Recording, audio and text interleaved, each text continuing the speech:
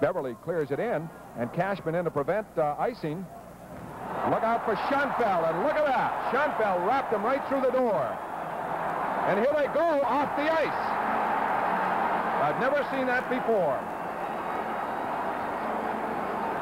Well, they're in the alleyway when uh, Schoenfeld uh, bumped Cashman into the boards going for that icing infraction.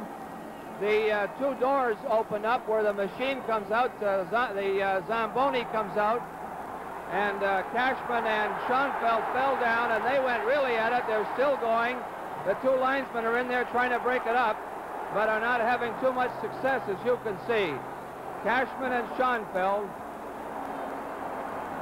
in behind the uh, glass or the partition. That's where the Zamboni comes out.